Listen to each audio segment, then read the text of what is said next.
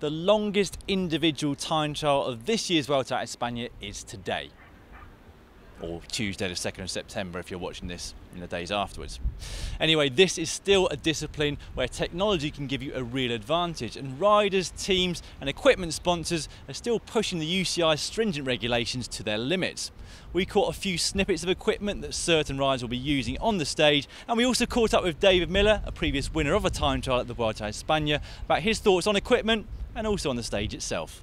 So David, things have changed a lot since you turned pro many moons ago, I hope you don't mind me saying, but the equipment regulations from the UCI are quite stringent, not just for the actual equipment itself, but also for the position that you can get into as a rider.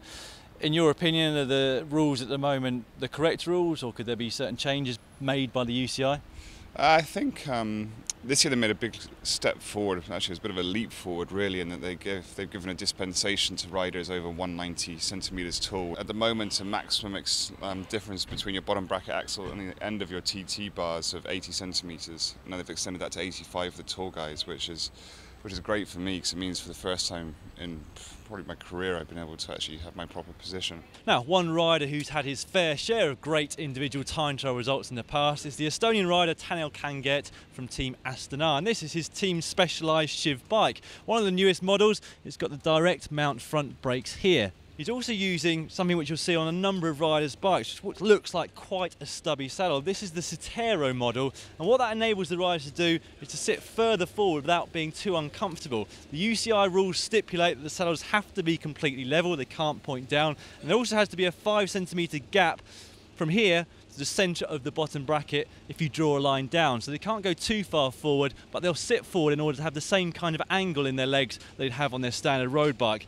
He's also using Campagnolo's Super Record EPS group set, which means he's got the shifters both on the sides here and also on the handlebar extension on the front of the time trial. And if you're wondering what this bit of rubber is around here, well that's simply Campag's method of turning off the battery when it's not being used. You have to keep it fairly standardized otherwise we would the bottom line is, although it's great to have the innovation like um, stuff that Graeme Obree led with the Superman position and his kind of his, his scrunch position before that, um, the bottom line is that makes the kind of the playing field uneven in that not everybody can get that equipment. So I think what they've tried to do is by standardizing it, giving access to everybody to the same equipment, to the same opportunity to, to compete fairly against each other. Behind me here on top of their car, you can see David Millar's time trial bike. And if we have a quick look at his bike, well, it's a fairly standard piece of equipment. Got a Cervelo P5 frame at the heart of the bike, a Mavic disc wheel here at the back, and there'll be a deep section time trial wheel at the front. We've got the 3T bars and stem integrated here. We've also got the Magura hydraulic brakes.